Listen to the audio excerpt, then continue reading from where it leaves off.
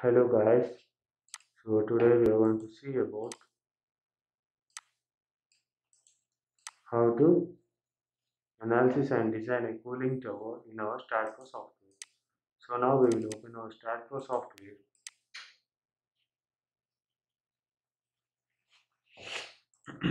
so we will wait, so okay. So now we will go to new project, click on space. Now we give structure name as cooling tower. Click on next on S and click on finish. So here we have opened our structure. So now we will go to geometry and click on run structure wizard. Now select this two surface plate models. Here we can see cooling tower. Double click on it so I'm taking the normal default ones. You can change it by here everything. So this is the cooling tower. So you can change the throat diameter. So click on this and S. So we will import our prototype to here. So now here we can see our cooling tower has came into our whole structure so now we will assign the supports for this. For that, go to General, click on Support. Now create. So we are selecting the fixed ones. Click on Add. Now click the front view. Now click the supports. Drag this bottom node points so that all the nodes will be selected. So click on Assign to selected nodes. Click on Assign. so see here our supports have been assigned. So now we will assign the property. So here it will automatically take as its plates only. So it doesn't have any beams or columns. So we'll take a thickness of 0.5 and click on add and close. So now click on this. Now click on assign to view. Click on assign and s so see here.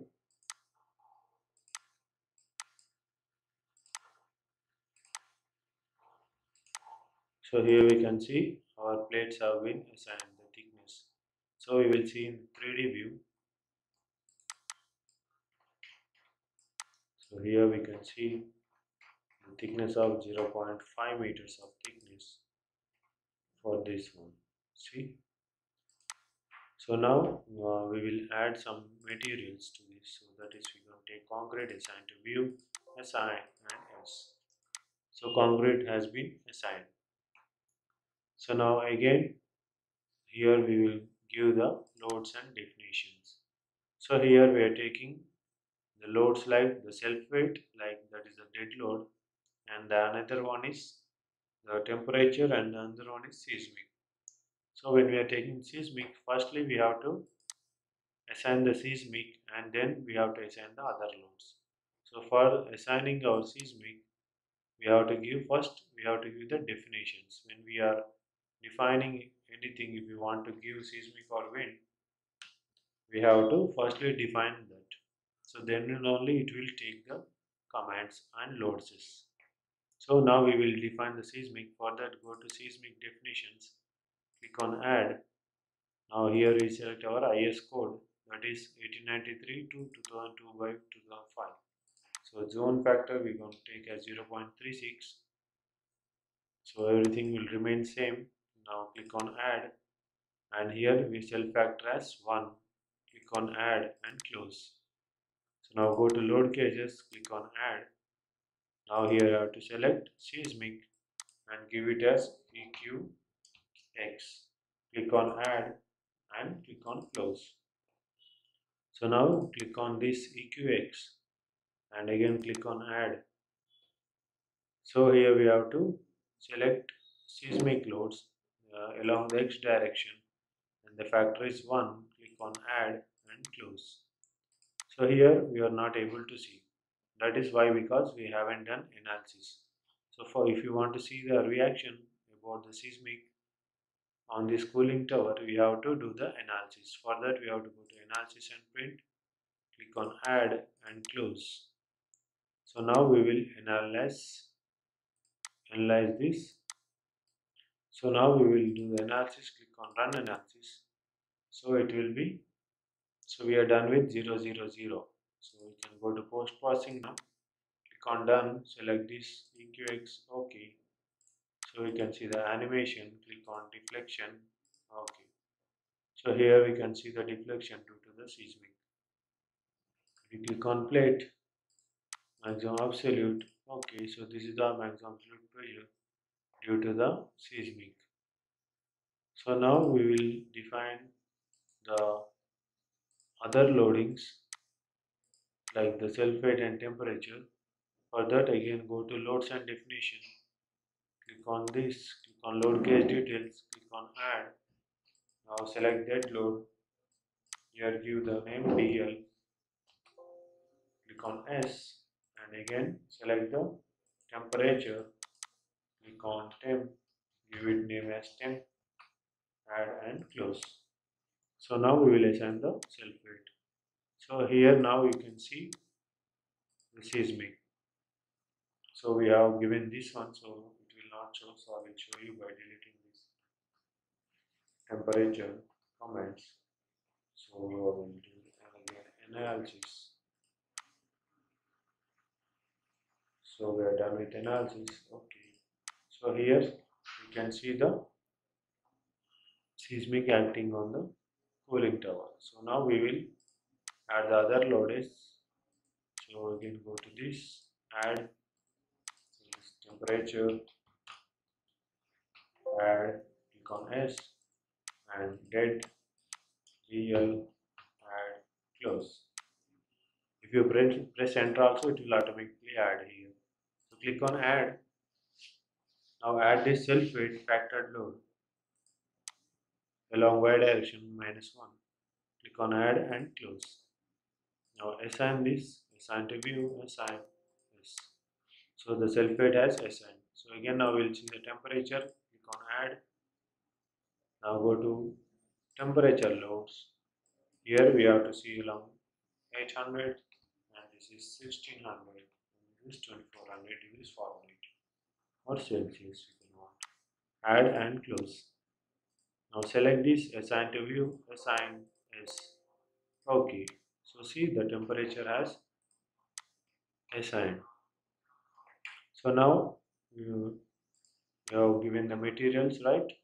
So now we will go to analysis and print add close analysis run analysis and save.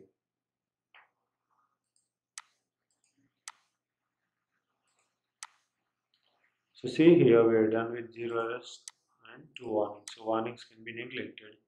So we are going to post processing click on ok. So now we can see the plate enhance fill maximum absolute.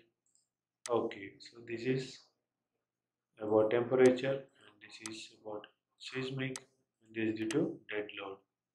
Now we will see the animation about deflection due to dead load and this is due to seismic and this is due to temperature. So now we will see the stresses acting on this. Maximum absolute select go to plate stress contour stress type is maximum absolute. Go to again animation. Click on stress. Okay. So this is due to temperature and this is due to seismic. This is due to dead load. So after that we will now design this part. For that go to design. Concrete. Here we have to select our IS code 456 select parameters. Deselect all we will take compressive strength and yield strength of the that one and go to define parameters here we can take in. M40 grade. And the Fy we are taking the rebar as the 550 until 3 enter and close. Now we'll go to define commands. Only take off. Here we don't have any beams or columns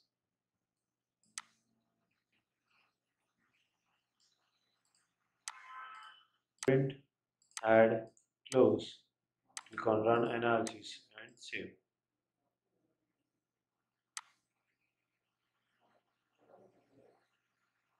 Oh wow so today uh, we have done with zero errors. Now go to post processing click on done click on the animation click on deflection okay. So it is deflecting. So you can go to plate maximum absolute click on ok so this is the maximum absolute pressure and this is due to seismic and this is due to temperature. So you can see the reports. If you click on reports you will get um, output. Select all this or else you can select what whichever you want. So okay so here we have the reports about the nodal displacements so the displacement of the nodal values so it's negative or positive you can see due to EQX or EQY or EQ or temperature of this dead load. So we can see whatever we want in this.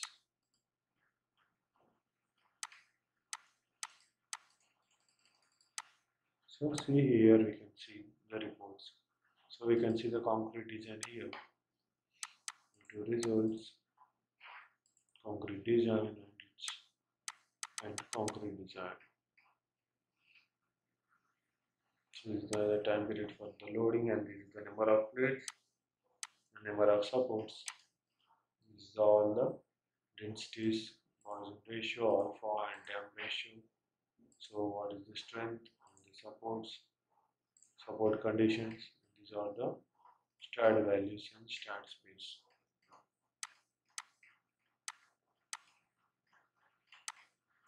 so here you can get the each plate of.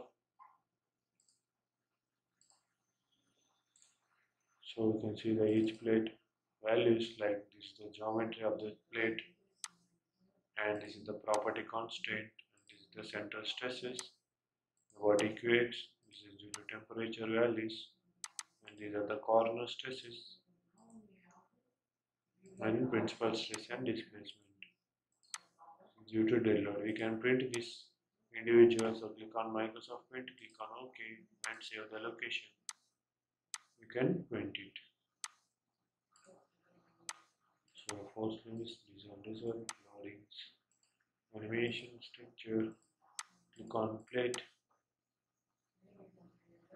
so we can select whichever we want about SX it's due to SX EQX and dead load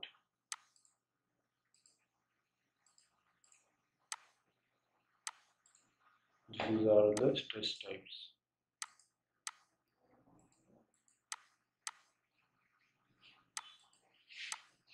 We can have any stresses or base pressures.